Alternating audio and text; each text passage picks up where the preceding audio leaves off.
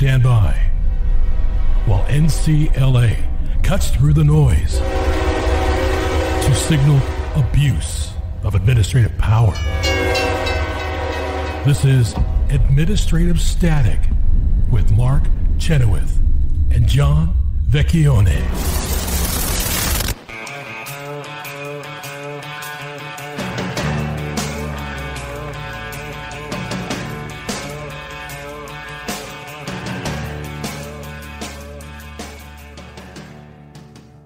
Welcome back to Administrative Static. Uh, John, it's a it's a kind of certiorari palooza around NCLA these days. We have four, count them, four cert petitions pending at the U.S. Supreme Court uh, right now, and I, I, suppose only an inveterate optimist like like me would think that we've got a chance at getting all four of these uh, cert petitions granted on behalf of our of our clients but I thought it was worth. Uh, I don't know when we will next have four cert petitions pending simultaneously, so I thought it might be great uh, to take uh, to take a, a, segment today and talk about these four cases. We've talked about all of them before, but not not together, and uh, uh, and we should have a decision on all four of these uh, sometime in the next five or six weeks as to whether or not the court will be will be hearing them. So.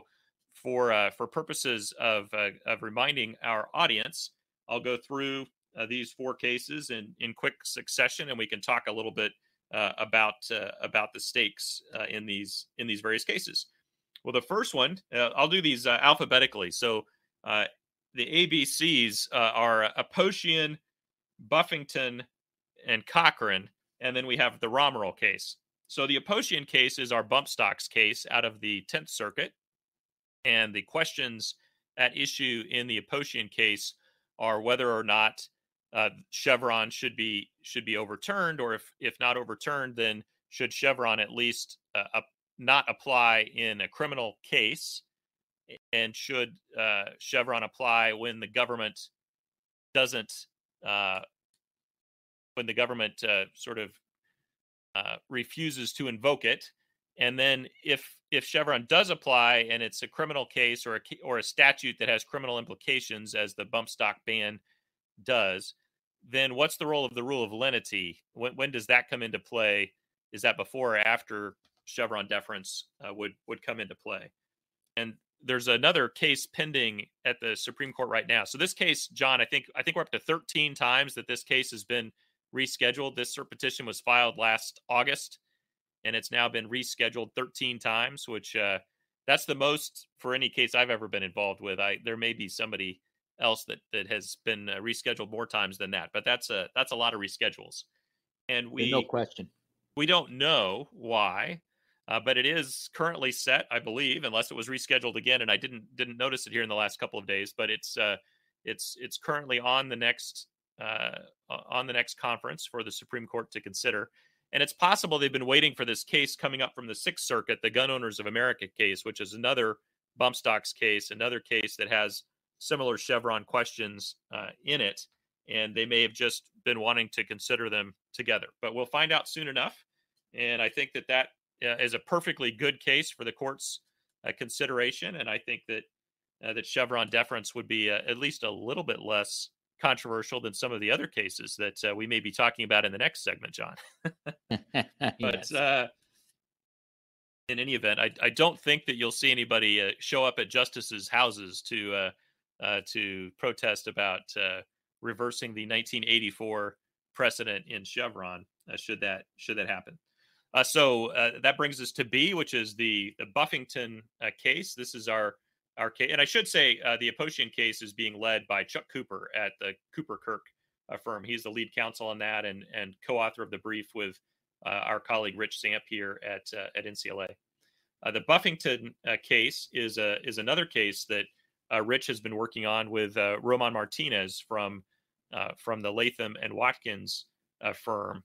And the the question in Buffington has to do with another deference doctrine. It's it's whether or not the veteran canon takes precedent over a Chevron deference. Because in Mr. Buffington's case, there's a question about uh, arguably ambiguous provision in the uh, in the statute uh, having to do with he he uh, he had a partial disability from previous service in in the Air Force, and he uh, was called back to active duty. And when you're called back to active duty, then the disability payment that you were getting is is uh, suspended during the time that you're getting that active duty pay. And then when he uh, then when he stepped away from the service again, uh, he didn't have the disability payment restored right away. And so there's a question of once he asked to have it restored, does that pick up right away, or or you know can he get sort of the retroactive benefit back to the time of his of his separation from from active duty? And if you were to employ the veterans, the pro veteran canon of construction to interpret ambiguous provisions in favor of the veteran, then uh, Mr. Buffington would clearly win. If you employ the Chevron deference canon in support of the government's interpretation, then the Veterans Administration would win on its interpretation. Uh, I'll just point out, John, I think it's unfortunate that the Veterans Administration is is so uh, uh, stingy when it comes to these sorts of veterans benefits question. There's no question that he qualifies for the benefit. That's not even in dispute. It's just a matter of this this paperwork timing uh, issue, and uh, it's unfortunate that that the Veterans Administration is uh, forcing Mr. Buffington to make a federal case out of it. But we'll see soon enough whether the particularly because he went back in service. It wasn't. Yeah. Go on. No, that's right. That's right. So anyway, that's uh, we'll see if the court. Uh, it's a nice, clean rifle shot sort of uh, uh, sort of cert petition. Be very easy for the court to uh, to decide on. Uh, then the Cochran case is the one that this was the cert, cert was sought by the SEC because NCLA won at the Fifth Circuit Court of Appeals en banc en banc court. So you may remember us talking about, hey, we filed an orange brief. That's uh, that's new and different and fun. Uh, and the the question uh, in the in the Cochran case has to do with jurisdiction and whether Michelle Cochran is able to uh, bring her challenge to the constitutionality of the ALJs at the SEC, particularly the fact that they uh, benefit from removal protections that we think are in violation of the president's uh, take care authority under Article Two.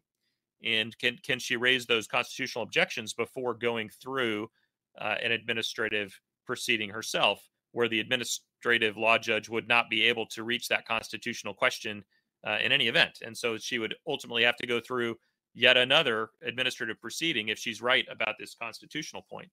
Uh, so we, uh, as I say, we won at the Fifth Circuit. The the SEC appealed that, but they wanted the cert petition held pending another case, Axon v. FTC, which we've talked about before, and I won't won't go into that here.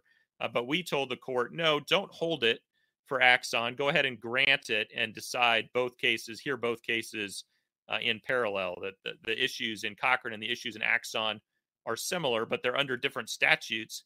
And we don't want to have to be debating whether or not the result in Axon applies in the SEC context, because you know the government's not just going to roll over, John. If they if they lose Axon, they're going to say that the SEC uh, statute is a different statute, and you can't assume the same rules apply, and all that jazz. So might as well get them both decided right now. The, the circuit split is is uh, definitely there on the SEC statute in Cochran. Uh, that that issue has percolated through many courts of appeals, and so I think it's uh, high time for the court to to resolve it, and hopefully hopefully they will.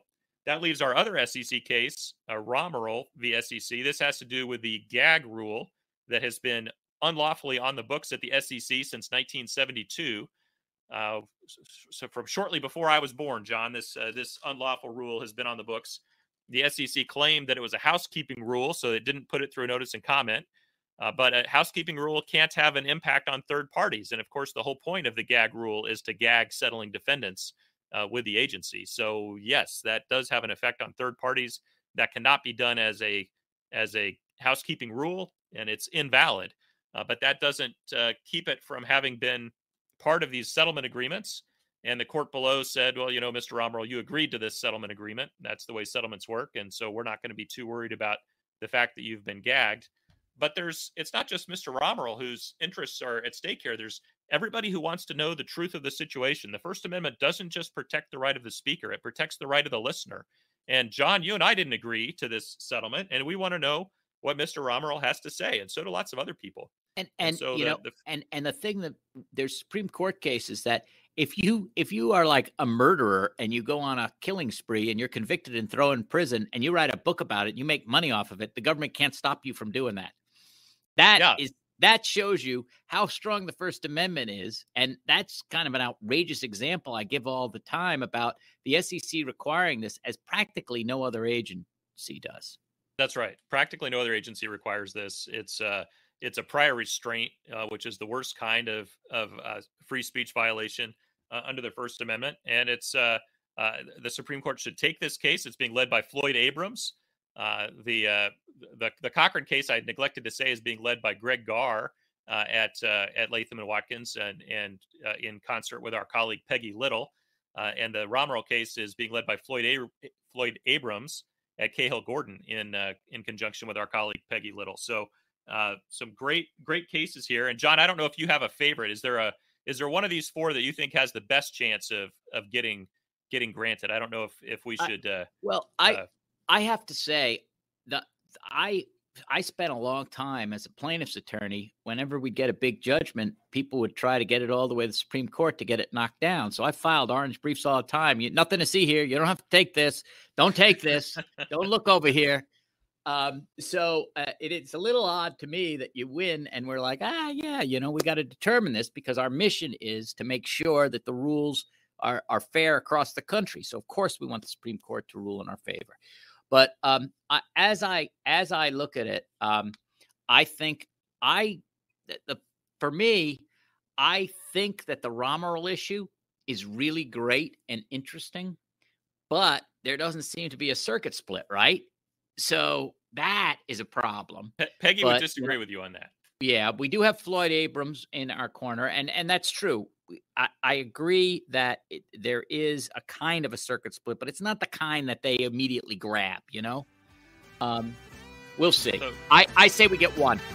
I'm not going to say which one. Oh, you're not going to say which one? All right, No, all right. Well, one. we will keep you posted on the on Certiorari Palooza at NCLA, and, and maybe we'll get two or three of these granted. That would be fantastic. Our clients certainly are are uh, worthy of, of these decisions being made.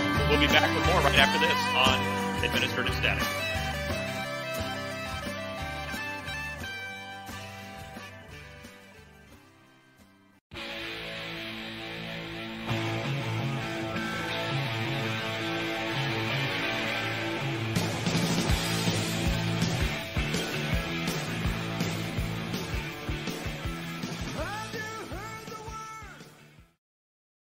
Welcome back, and uh, we'll close out this week uh, with a, a a sort of sobering a sobering matter for the administrative of ju- uh, administration of justice, which is um, there was the leak the Mark and I talked about of a Supreme Court uh, opinion and and just the majority opinion, no dissent. As I pointed out last week, this this leak has hurt the dissent as well and its impact, and and it, it's done a lot of bad things to the law. Let's put it that way.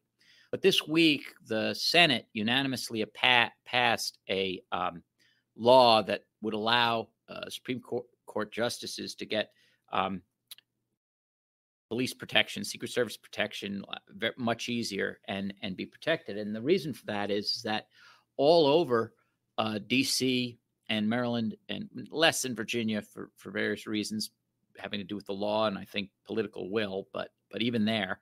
Um, there have been protests at the justices' house houses, and and all even even Roberts, who's not on uh, on the leak naming panel, is being any anybody any uh, Republican nominee is being protested, and um, there's been there's been a lot of internet language of violence and all this, and we see how this we we we've kind of forgotten that um, th- this violence does happen, and you hear it all the time that oh Trump or somebody incited violence, but it's not just that.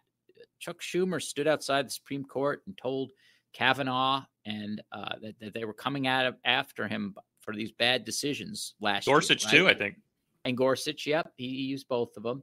And th- this rhetoric to stir up your your crowd uh, has has free speech to it, but it is not harmless.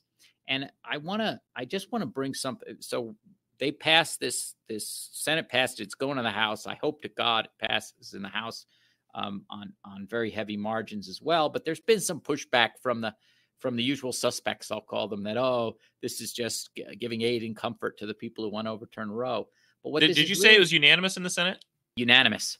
So, so Senator Schumer voted for it, or he didn't stand in the way. Yeah. Uh-huh. Yeah, so exactly. Okay. They know. They all know. They all know what it's like. And um, Schumer has his house protested, but you know it's in New York and it's under.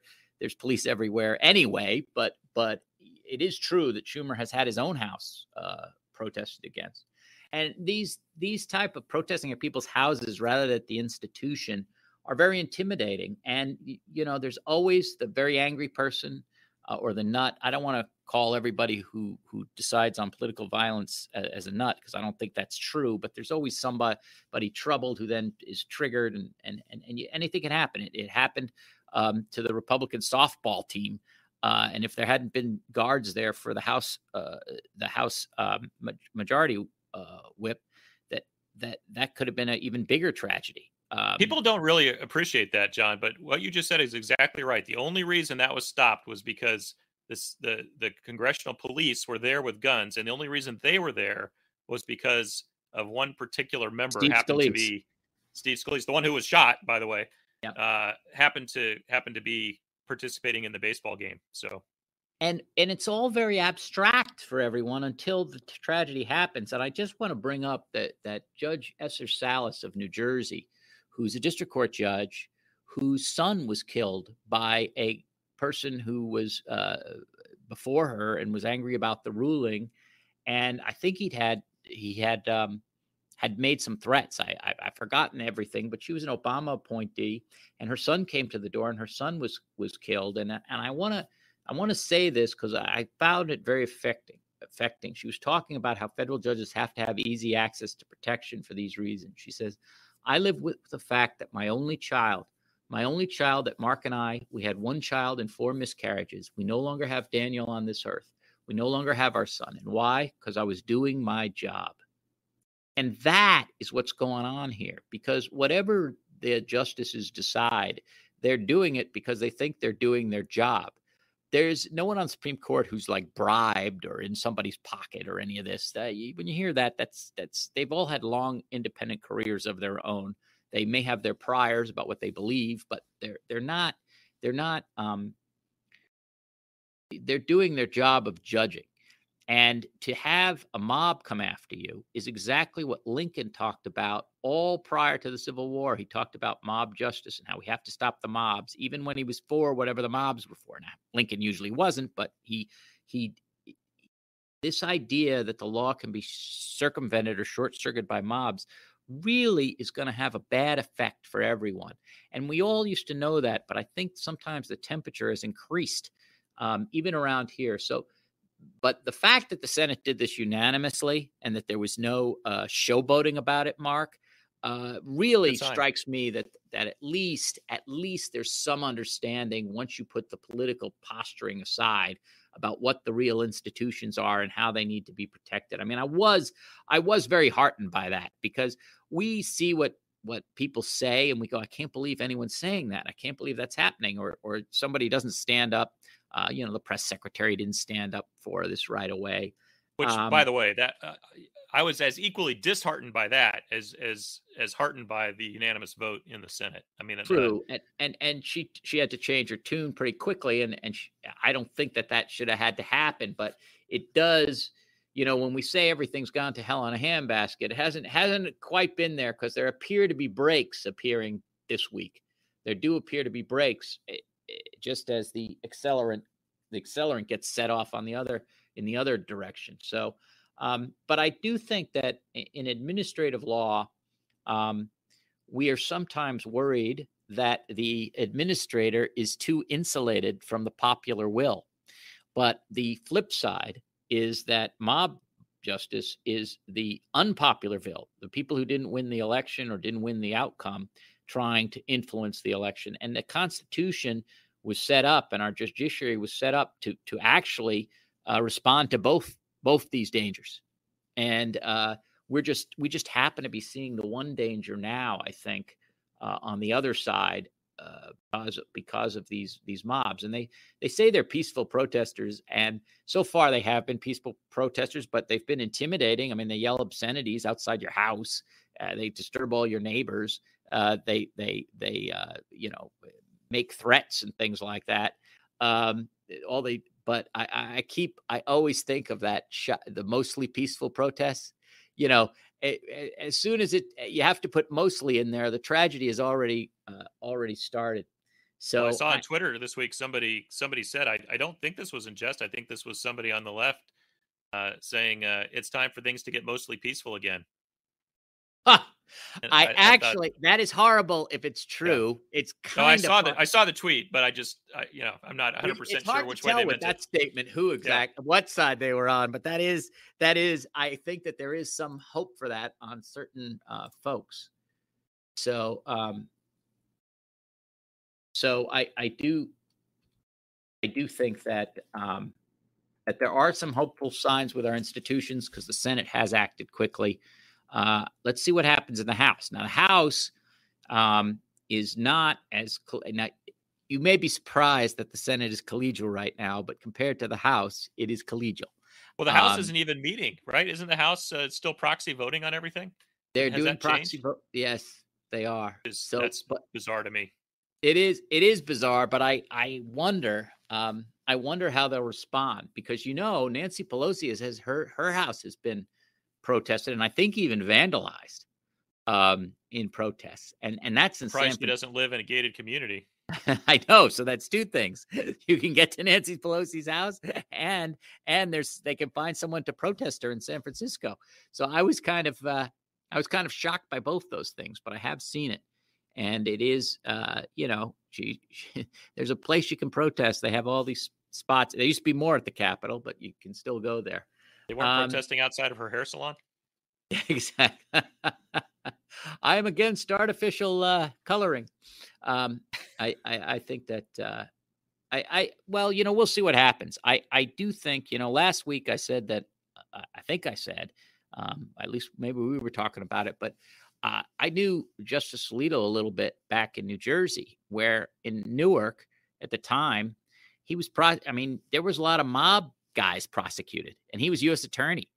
And you know, prosecuting th- those are the guys who are most likely to uh, take offense that they're being brought to law and do something about it.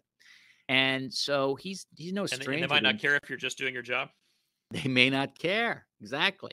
So it's not like there hasn't been danger or the threat of danger before, but now um, I think that that you know they they they threaten your family and all the rest of it and they make your life um, you know if you have a large crowd outside your house for days on end not letting you sleep and all this that's not really a peaceful protest either. Um, but the threat of violence always in the back is really hard on justice. It's really hard on justice. And and one of the things you can see how hard it is on justice is how many movies we have about it. I always think of how many movies there are where the crowd the mob comes in and john wayne and and and Robert Mitchum and, uh, and Dean Martin or something have to like stop the mob from uh, taking whoever the prisoner is and and, and Dean Martin. Or, uh, well, I, I, that's Rio Lobo. So he made John Wayne made oh, this movie right. like three times, and once it was with James Caan, and once it was with Dean Martin, and they go into town, and the sheriff's drunk, and he won't he won't defend whatever it is against the mob, and so they got to stiffen his spine, and of course, because uh, it's a movie, they, they have to eventually have a showdown and uh, the the sheriff sobers up, and the and the young guy who's who's kind of uh, kind of uh, uh, you know a layabout turns out to be okay. And so they John Wayne has different people play that in the different movies, or John Ford does, whoever it does, Henry Hawks, I don't know. But anyways, I've seen tons of movie like like this. Um, they used to make them all the time. Uh, it, it is it is a it is a reoccurring theme in American history, and so it's also a recurring theme in American um, art. But I have to hope that we remember that these justices are real people, um, and that they have to do their jobs and they have to be protected to do it. And so, they should be able to write off in the sunset at the end of June when all the decisions are out. That's correct, and and um, and go about their business. I mean that we'll we'll see what happens. But uh, I was heartened So uh, half cup, glass half full, I think, Mark. I guess. See you next time.